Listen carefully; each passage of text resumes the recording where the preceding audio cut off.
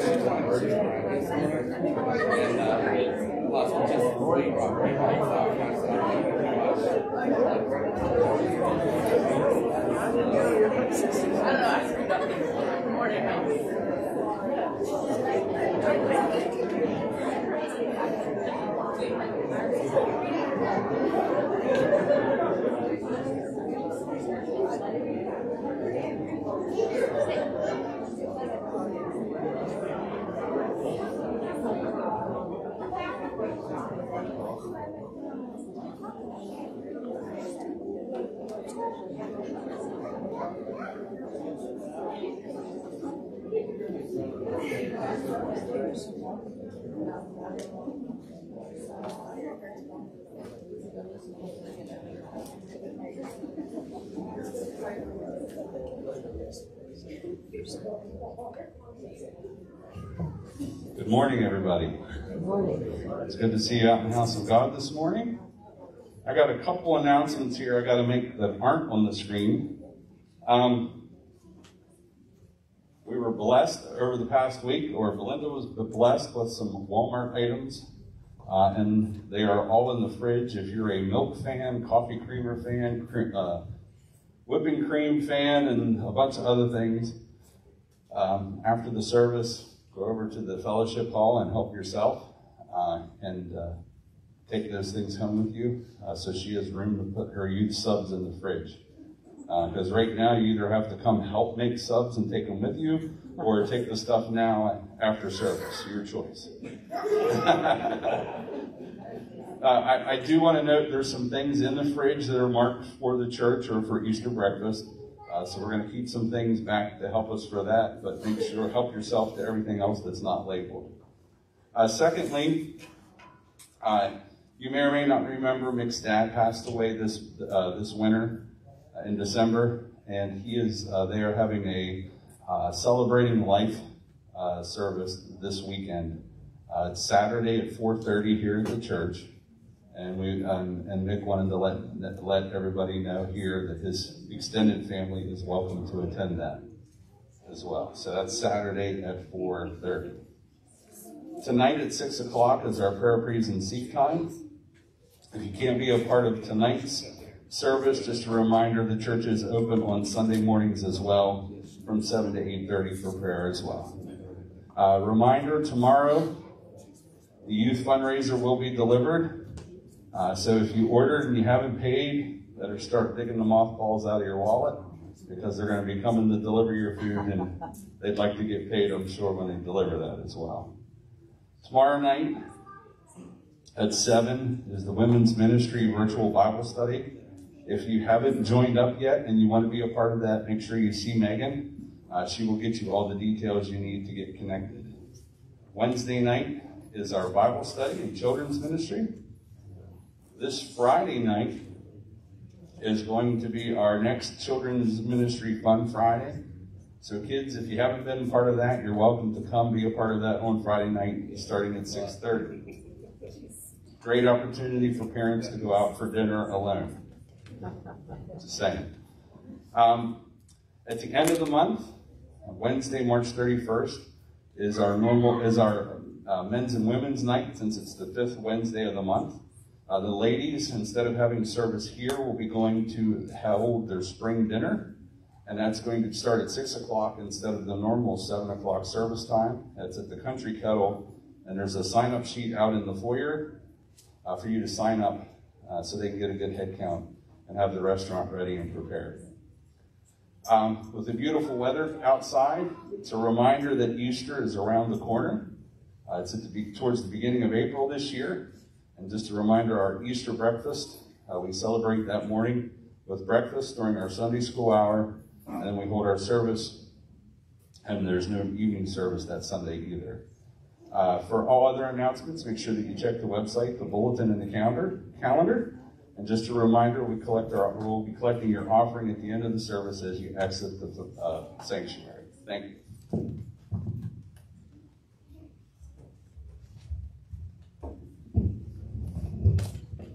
Okay, well, let's stand for worship this morning.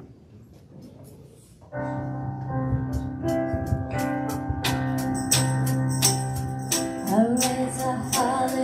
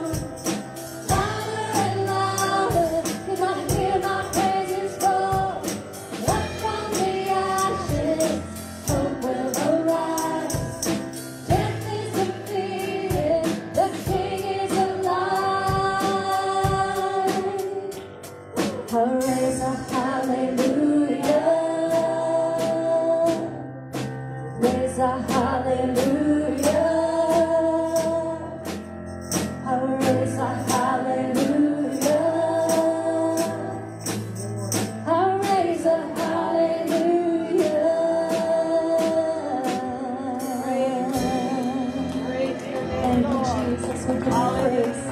Father, all over this room, you are worthy.